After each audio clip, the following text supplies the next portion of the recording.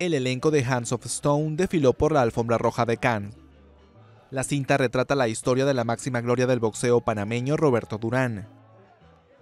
La delegación estuvo encabezada por el mítico Robert De Niro, quien interpreta a un importante entrenador que pulió los guantes de varios campeones mundiales. También resaltaban los venezolanos Edgar Ramírez, quien encarna a Durán, y Jonathan Jakubowicz, director de la producción. El salsero panameño Rubén Blades y la cubana Ana de Armas están dentro de la cuota de latinoamericanos en el film. El propio Manos de Piedra, conocido así por su fuerte puño, asistió a la presentación. Después de una infancia humilde, ascendió internacionalmente en el pugilismo hasta convertirse en uno de los boxeadores más grandes de todos los tiempos.